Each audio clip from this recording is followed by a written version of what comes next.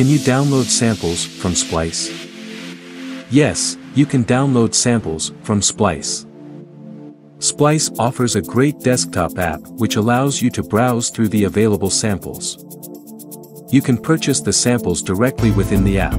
Once a sample has been bought, you can drag the purchased samples straight into your DAW.